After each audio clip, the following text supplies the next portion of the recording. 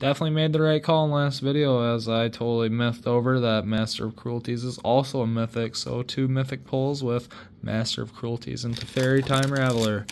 See if we can top that with this Ravnica Remastered.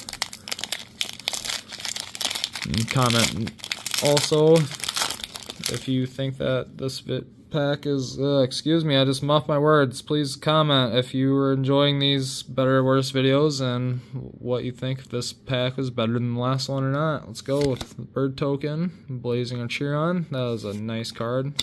Is oh, we got the raised boar. That's pretty good right there. It's gonna Lazav, the multifarious.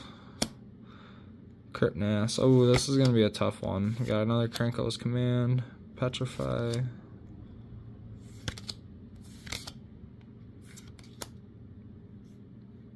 Okay. Smelling Sphinx.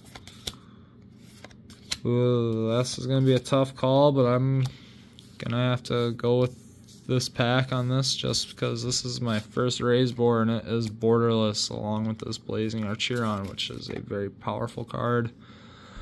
Thanks for watching, guys. Comment what you think, if I'm right or not. And I promise to get my words in order for the next video. Me no talk well. Thanks for watching.